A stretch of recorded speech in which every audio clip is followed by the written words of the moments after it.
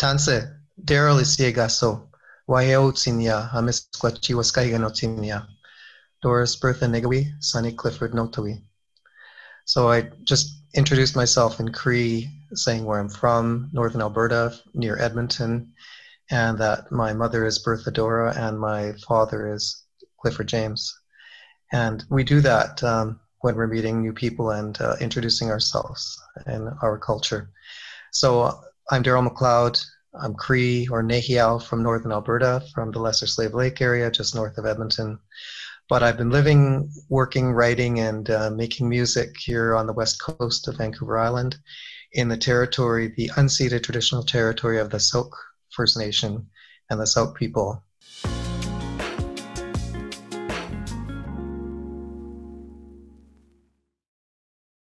What was my favorite book as a child? I think it had to be The Adventures of Huckleberry Finn.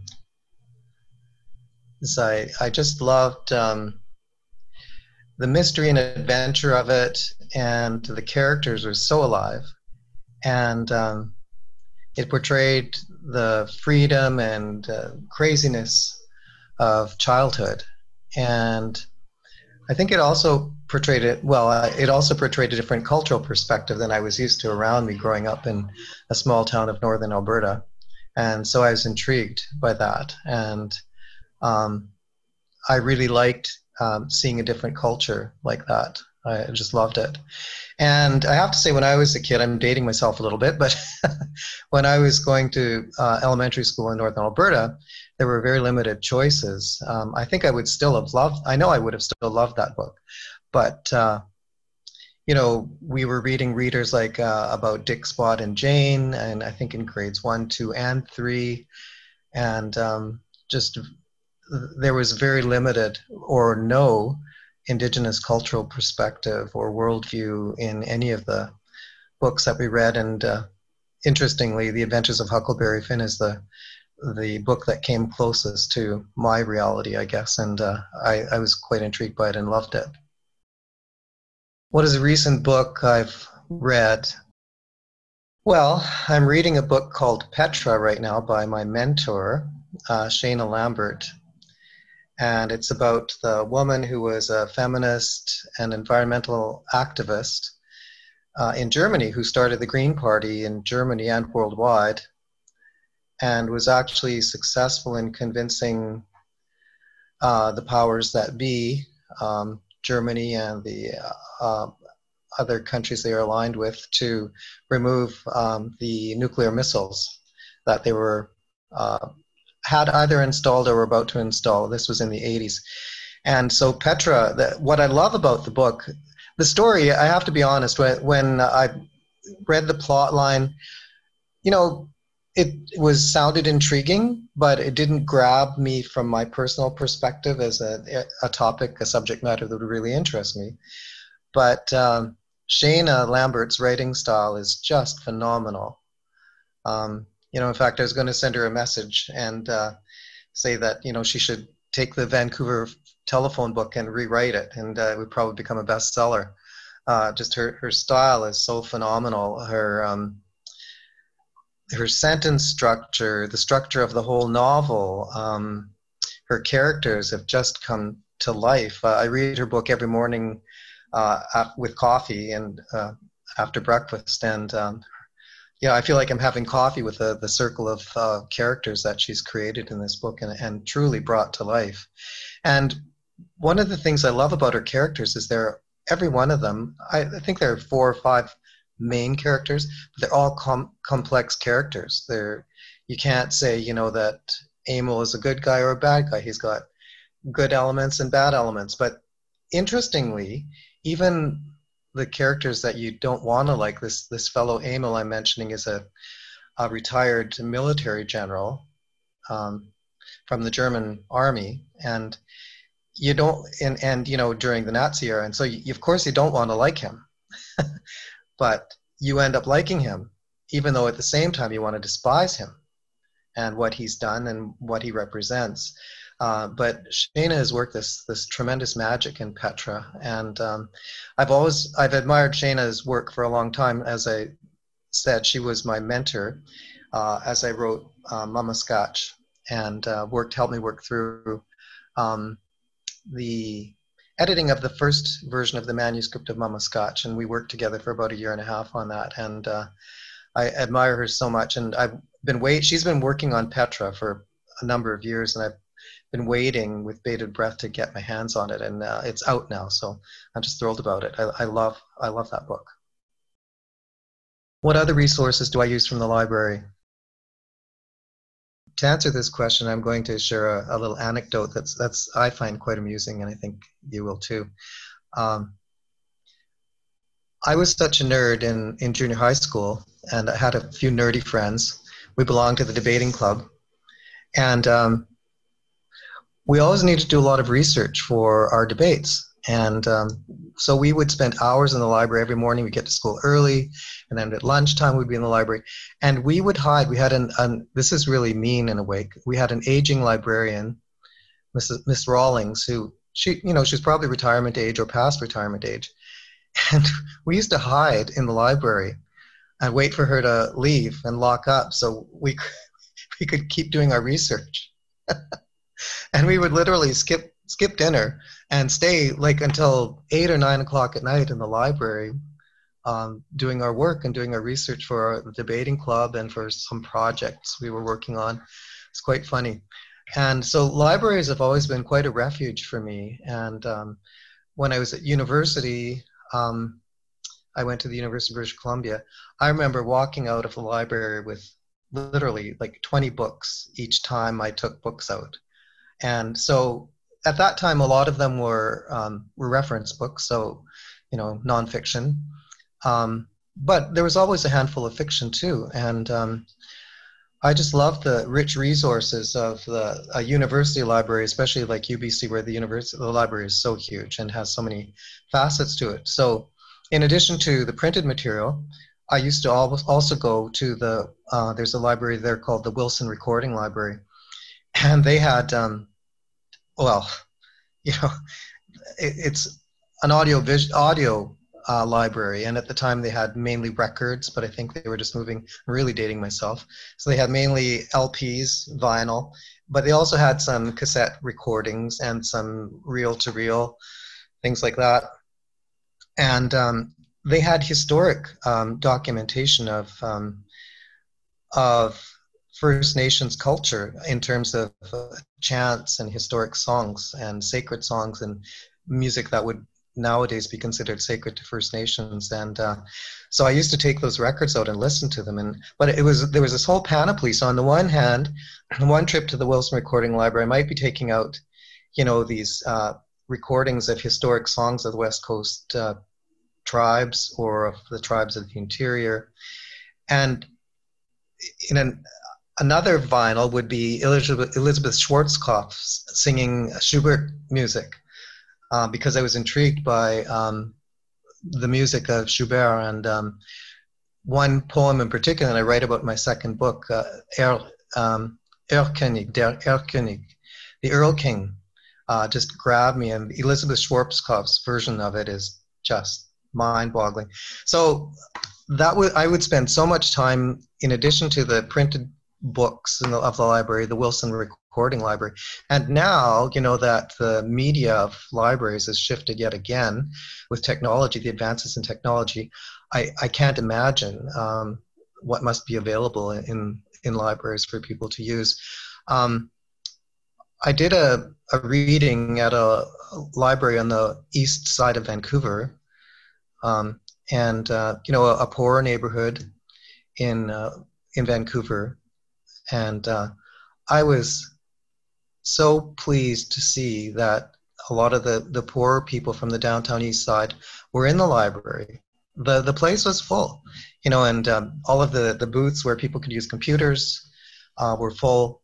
And um, it, it was a place of refuge and a place that opened the horizons of these poor people. And I guess that's where I'm going with this, that that's what it did for me back in in northern Alberta and Athabasca, that um, high school library just opened the universe for me uh, with in those days printed material, and then later the UBC library um, opened up a whole new world to me.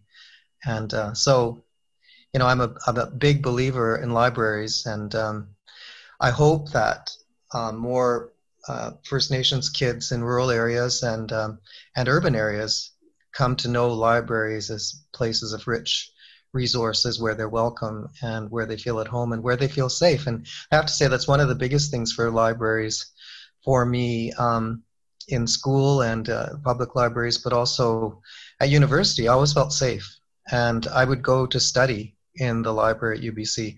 UBC for me was this big, daunting institution, and I was this kid from a small village, an indigenous kid, a Cree kid from northern Alberta. And university was often quite um, overwhelming, the experience, but the library was always a safe place for me. And don't let me get started on librarians and how helpful and wonderful they can be. But, um, you know, um, I don't know if you've heard, heard of the book um, Out of the Ashes by Jesse Thistle. Um, it's about a, a homeless man's, um, obviously out of the ashes, survival and uh, recovery from being a street person. And he um, thanks and acknowledges a librarian, and I think it was in downtown Winnipeg, or it might have been Regina, um, for helping bring him off of the street because she used to help him when he'd go into the library to just use the library as a poor lost street person who was struggling with addictions. And you know eventually uh, her kindness got through to him and got him reading material that really helped him. And i think it, her obviously her kindness also really helped him. So that's been my experience as well both personally and professionally. Um, so I could go on forever about libraries and the beauty of libraries and, and librarians. How does my life story affect my relationship with the, the types of books I'm drawn to? Well, now as an author and a writer, um, I choose my my reading material quite deliberately. And um, if I could take you on a little tour around my house, you'd see stacks of books in every room. And um, I'm not bragging about that. I'm actually embarrassed about that because uh, I need to find a better system of organizing and storing my, my books. But um, I choose um, authors who inspire me. Um, for example, I have a lot of Alice Munro books, a lot of Alice Munro books, and I've read maybe two thirds of them, and I have a stack of stack more waiting. She was very prolific, as you know. And as everyone knows, um, she's the Canada's Nobel Nobel Prize winner for literature. Um, anyway, the reason I have Alice Munro books on mass like that is uh, she's a, an author um, I admire tremendously. Um, there's an expert on writing who I've become friends with. His name is Douglas Glover, and he actually gave me my first break in the publishing world by publishing one of my short stories in his literary magazine in any case, Douglas Glover has written two books on writing, maybe more, but two that I've read and that I have. And the first is called The Curse of the Copula Spider. And uh, it's about editing. And um, the copula spider is the circles and the connecting lines that an editor can draw when they're in their uh, the, the throes of editing somebody's work enthusiastically. Um, but in that book, there's one chapter that's entitled The, the Mind of Alice Munro. And, you know, when I was writing Mamaskatch, I read and reread that chapter so many times. Um, just, I learned so much about writing from, from that chapter on the mind of Alice Munro and how she thinks and the magic of her work. Uh, Douglas Glover is very good at kind of deconstructing uh, people's techniques and methodology. And um, he did an excellent job of, uh, of deconstructing and analyzing Alice Munro's work and helping others to learn from it. And um, I, any other authors who grab my attention, but for example, I just talked to you about Petra. Um, there's another book that's current right now that I think is going to do very well also, and it's um, called A Russian Sister by Caroline Adderson. And uh, I just got it the other day um, because Caroline was another writing mentor. She was my mentor at the Center for the Arts a couple of years ago. And I think she's an absolutely brilliant writer. and um, I'm anxious to to get that book opened and uh, read her. But there was another author um, I read about, Anna Marie MacDonald, and her book Fall on Your Knees. And I just read one review, and I thought I have to get that book, and you know I became obsessed with finding it. And when I find it, found it, you know, I sat down and read it. I mean, I didn't do it all in one sitting because it's a huge book, but um, I didn't read anything else for about a month, the month that I was studying. And I, I did, I said, I was going to say studying that book, and that's truly what I did. I studied it uh, because she was so incredibly brilliant in, in her writing and her uh, plot, the construction of her plot. She, I don't mean to give a spoiler here, but she kills her protagonist about halfway through the book, and it's somebody that you've come to care about tremendously, and you think, well, where can the book go now that she's killed the main character? But you know, she very quickly, you know, replaces that main character with another fascinating uh, main character, and uh, on and on. I, I just love that book, Fall on Your Knees by Anna Marie MacDonald. And another book I was reading, um, The Polished Hoe by Austin Clarke.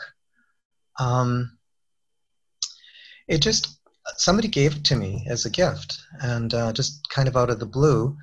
And I'd read good things about it but I became intrigued from the beginning of the book because one of the things I was learning in my writing was how to write dialogue.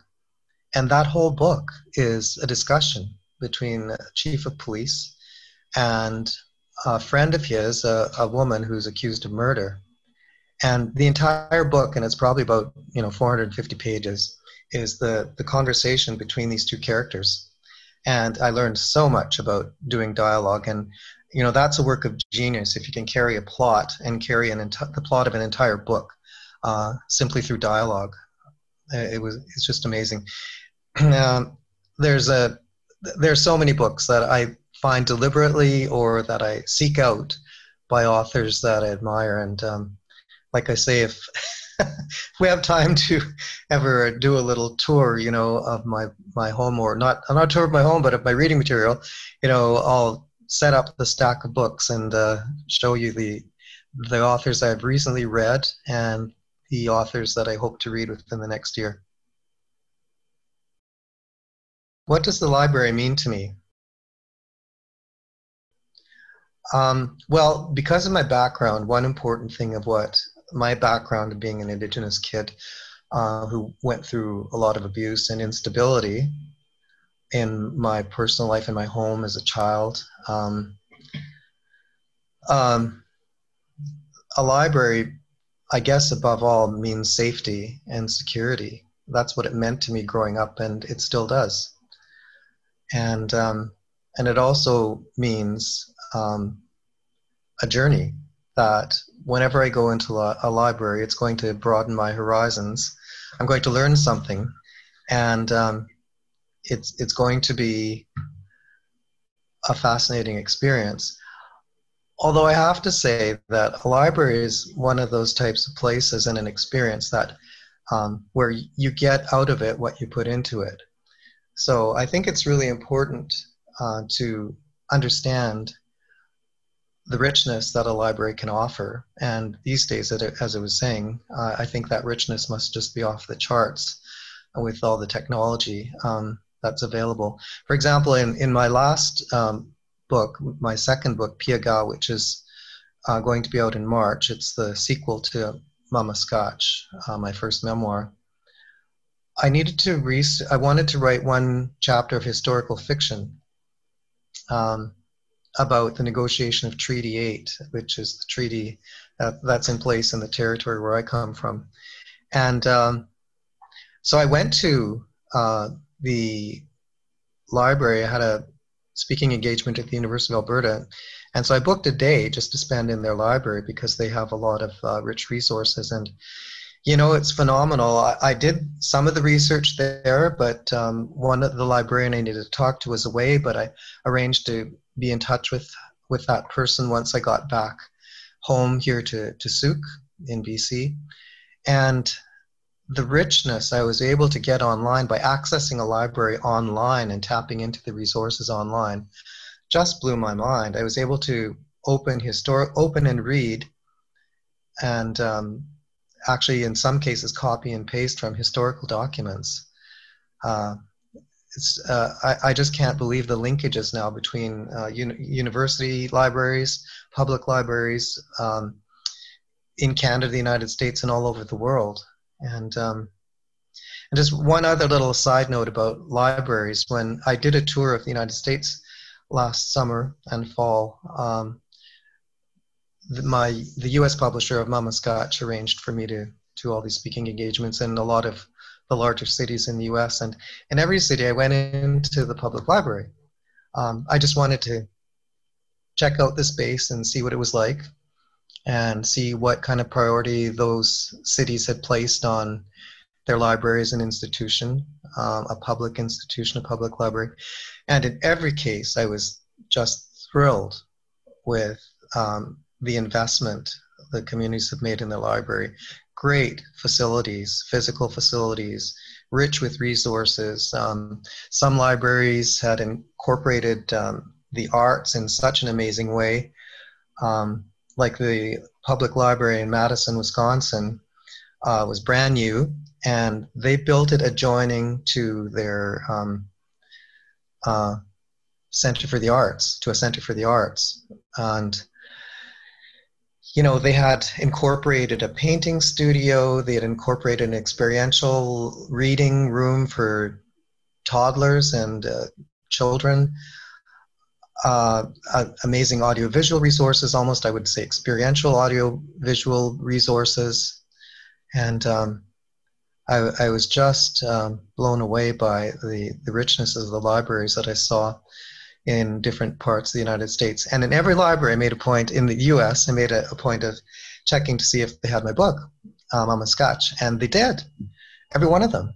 Uh, I was just thrilled. That was that was nice. So there's libraries on the other end of the spectrum. For me as an author, a library is an amazing uh, way of getting getting my story and my material out there. And so that applies to all authors, I guess. That uh, a library is an amazing way of sharing our work and our art with the world.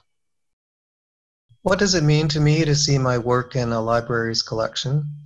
And what does my work being in libraries mean to the queer indigenous community?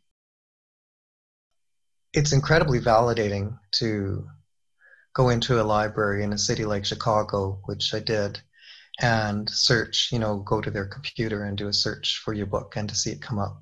See that they have four copies and that there's there holds uh, people waiting to get your book. Uh, that's just such an incredible validation. And um, so there was that spectrum of validation, but earlier on and before my book um, was nominated for the Governor General's Award or shortlisted or before it won it, um, my publicist and I would just occasionally, maybe once a week, do a Google search to see where things were at in terms of the circulation and um, distribution of, of Mamaskatch. And um, one of my earliest pleasant surprises was to see that uh, dozens of rural libraries in Alberta, if not all of them, they may uh, they may do their acquisitions together. I'm not sure, but uh, had my book and had the my book referenced and mentioned in their card catalog, and um, people could put holds on it and online and stuff like that. So for my book to be out in rural Alberta, that's where I'm from, and that's where part of the book uh, takes place, and um, that was just so incredibly validating and rich to me to think that um, my book would be in those places, and um, the fact that my book is in those small libraries in rural communities means that it's probably in, in some high schools as well. And it means that um, more Indigenous kids and youth would be able to access it. And I've had quite an interesting response to my book from um, Indigenous youth, especially from youth who are uh, maybe struggling with gender identity or their sexual preference and they're unsure, insecure, or, you know, which I think probably most youth go through a phase like that. But um, I've had at, at, events like I was at Camosun College, um, they put on a, a, little event for me, um, kind of a launch and celebration of my book in October of 2018. And there were two youth who came up to me, and it was obvious that they were a, a guy and a girl, and they were know, maybe 17 or 18, maybe 19. And it was obvious that they were experimenting with um, their identity and testing things out, their gender, and probably their sexual preference as well. And they they said to me that they they wanted to get my book and um, they wanted to get me to sign it after my presentation and they wanted to visit with me i, I was so touched they were the first ones uh, at the event to come up to me and, and chat with me and kind of huddle with me. And um, so i thought after the event i would get a couple of books and gift them my book and sign them these gifted versions. But as soon as they opened the little kiosk for me to sign they were the first ones in line and they had already bought the book. And they were just giddy. They were just thrilled to have bought it and to have a chance to chat with me and uh, and get me to sign my book in person and they promised to stay in touch and uh, they have and then my family did a, a similar event um, they uh, organized a family celebration for me in the thanksgiving weekend of 2018 and they insisted that I come home and they set up a family feast. But what started that all was that one of my, my, my first cousins, cousin my age, her, her one of her daughters, had heard that I, I had written a book. And so she went to their little one room library in, uh, in her little town and found the librarian who works maybe half a day a month and said, My cousin has written a book and I need it. I want you to bring it in for me. And, and the librarian did. So within a day or two, she had it. And it took my cousin a few days to read my book. And then she posted on Facebook that um, she's maybe in her, she's in her 30s uh, now, but she said that that book could have been telling the story of her life, that there were so many parallels. And she said that reading that book helped her with her own personal healing so much and that it could help many in our family with their healing if we let it. And um, I had an, another interview yesterday with uh, with a person uh, from Quebec City um, for a, a, book festival that an Indigenous book festival that's going to be done in French. And um, uh, she was particularly touched about uh, by the part of my book that deals with transgender issues. And she thought that it was well done in my book and that she congratulated me on bringing out the transgender issue so clearly and, uh, and dealing with it so clearly. And said that um, it had, that part of the book, well, the book in, in, in total had touched her incredibly, but that part of the book had a very special meaning for her as a transgendered person herself, recently transgendered. And um, so, in that conversation, um, one of the questions brought out of me the fact that I did. She she asked me why I wrote why I included that theme and why I wrote the book in such a, a frank, candid, and raw manner, and I said I just wanted to give people freedom, like to liberation from shame and guilt, uh, the shame and guilt that comes with being different, and um, having things that you part aspects of your personality and who you are that you have to hide all of your life because you're so afraid of how other people will react to it, whether people, your family or friends or community or society will continue to accept you and love you if they knew the truth about you. So I, I really did. I was able to answer that. I, I wanted to throw the doors open on that conversation and give people the freedom to speak their truth and to feel more confident in living their lives they re- the way they really needed to to feel complete and whole. What projects have I been working on lately? I'm working on my novel, my first novel, uh, which is based on life experience, life experience, but it's fictionalized. And um, I'm about uh, two thirds of the way through the first draft of the manuscript, I believe, although you never know. but uh, I got accepted into the Banff um, Writers Studio in 2018 to work on that novel, and I got, I kind of hit the ground running, and I had five weeks um, in a writer in residence kind of situation to to work on it with two mentors. One I mentioned earlier, Caroline Adderson, and um, so I was able to get a really good start uh, for that novel, and I've been working on it since then. And um, I'm also working on. I'll just show do a little show and tell here. This is um, the manuscript for Peyakow, my second book. It just landed on my desk uh, Friday evening to do the final author's proofread. And before we published Mamaskatch, I didn't know that was a stage in the process. But yes, the author, once it's all laid out and the technical edit is done, the substantive edit is done, the the author gets a chance to go through the the the manuscript one more time to look for any errors or omissions or anything um, I mean, it's not wide open, but you can make some minor changes and corrections at that point. And so that's what I'm doing. I had to put everything down this week just to look, go through the manuscript of Peyakow, and it's a, very exciting stage to be at. And I've been commissioned by my same publisher, Douglas and McIntyre, to uh, work with the well-known Indigenous author Drew Hayden Taylor on a, a compilation, a collection of essays about the future of Indigenous people in Canada. And um, so I'll be working on that. It's due in October. So I've just been sort of brainstorming what I'll say about um, Indigenous people in Canada moving into the future. Have lots of ideas. And I think part of the reason that my publisher asked me to do that is um, uh, I experimented with magic realism and futurism a bit in Peyakow, and I think she liked the way it worked in there. So uh, she asked me to to write an essay about it as well.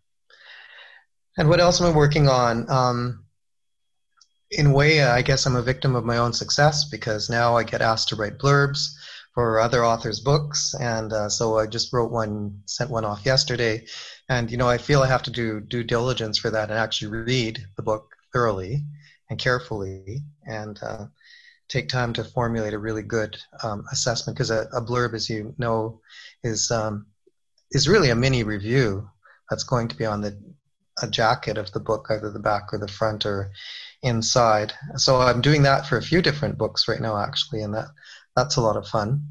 And I had been booked for events um, every. I had three or four a month from the end of April of this year, right through to the end of November, and they were all canceled. I was scheduled to travel you know, every week, I think, from the end of April to the end of November. Everything was canceled, so everything has gone virtual. So, very much like this presentation, I've been doing recordings on my own or recording uh, presentations. And I have to thank you for doing this. This is much easier than uh, just sitting down with my phone by myself and coming up with something. So, thank you for this. Strong libraries, strong communities.